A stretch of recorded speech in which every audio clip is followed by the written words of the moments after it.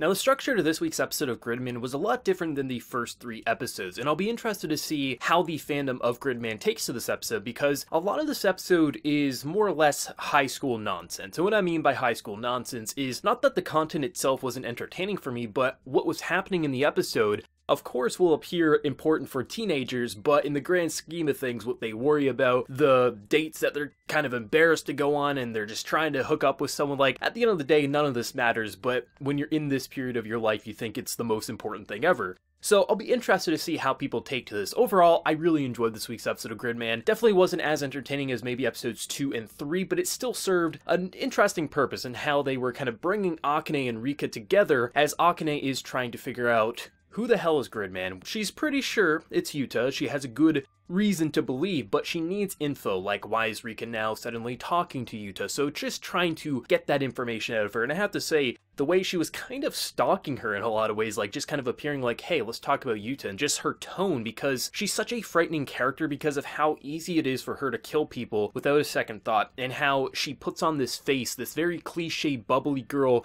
persona, but really she's a stone cold killer and that's who she is. And I love how when she starts popping in and talking to Rikka, you're like, what's going to happen here? Because we know what this girl is capable of. The idea of her saying, like, hey, we haven't talked for so long, let's hang out, that's naturally a reason for her to start hanging out with her and to get information about Yuta because she knows Rikka has been in contact with Yuta a lot more recently. So I like how they're using this very typical adolescent scene of going on the group date, going to the karaoke bar, but it's actually serving a purpose for our main character and the character progression of these two characters because Rikka is trying to figure out like why is it that wherever I am bad things happen? And it makes sense that she wouldn't think Akane is the big bad in this world that she's the one behind everything because there's no reason for someone to immediately think, hey, this person who I used to kind of be friends with or at least talk to is behind everything. Once she starts hanging out with Akane more and more and these bad things start piling on, then she should start expecting things like, hey, maybe this girl's actually behind it. But for right now, it makes sense why she's acting this way. And I just love just some of the comedy in this episode. Like, I think this episode will show you that the group here, this kind of like squad of Gridman, if you're having your doubts about how they would mesh in with the more kind of slice of life scenes, but also in battle scenes, I think this episode does a good job at showcasing why they're so great. I love how these characters are so blunt because they realize like these are just a bunch of high schoolers who are afraid to kind of ask the questions on their mind, so they'll do it for them. I love that so much. It's just I love how they bounce around, but also in battle, like when they all attempt to kind of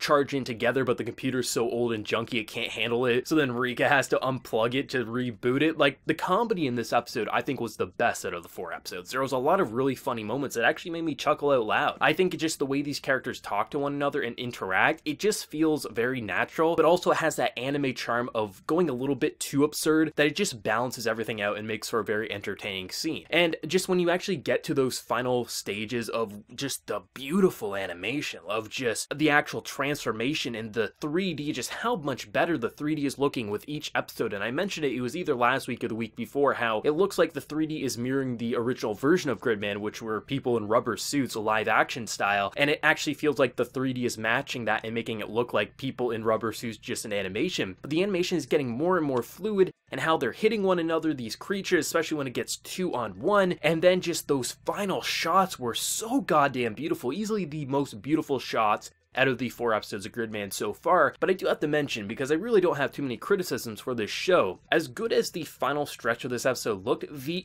overall feel and presentation to most scenes were pretty basic and underwhelming. There was a lot of static shots in this episode, and a lot of static shots that were just like, holy hell, this looks really, really bad. A lot of times people like to pause in between a frame and like clip out an in-between frame and say how bad it looks, but these are like the main keyframes that we're supposed to look at. And just the overall presentation to a lot of the character models, it felt almost like a different studio was animating it and how maybe this was outsourced or maybe they were just rushed for time so they couldn't polish it up as much as past episodes. Maybe because they had such an amazing fight scene at the end of the episode that took priority. I'm not sure, but like I said, I don't have major criticisms for this show. So when something does bug me, I do gotta make sure I mention it because overall the presentation was pretty underwhelming in this episode past the final stretch of it, but I will say, even with that said, when I think of this episode a couple weeks down the line, I'm not gonna probably remember the general presentation. I'm gonna say, holy hell, that fight at the end of the episode was amazing and one of the best animated things of that week. But once again, like Akane She's such a great villain. I think she is the character that ties this show together so perfectly because she is just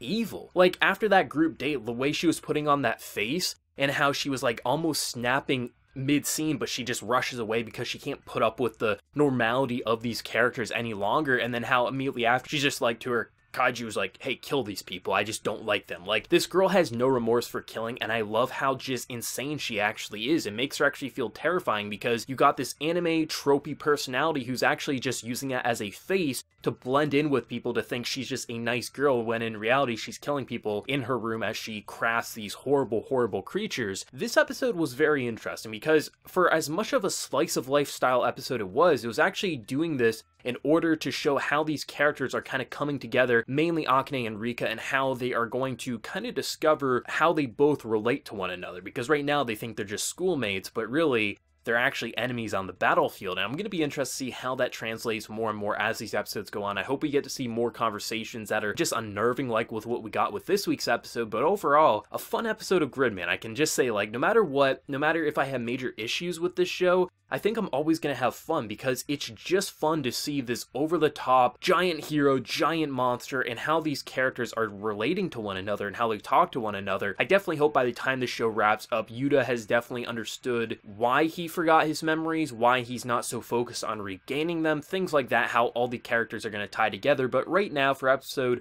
four, four weeks in, I'm having a very pleasant time with Gridman. Very fun show. Can't wait to see more. Let me know whatever you thought of the episode down in the comment section below. Did you love it? Did you hate your favorite moment? What do you think of that beautiful animation at the end of the episode? Let me know. And be sure to like the video if you did enjoy and also hit that subscribe button if you want to see more content from me in the future. But until next time, everyone, please take care and have a good one.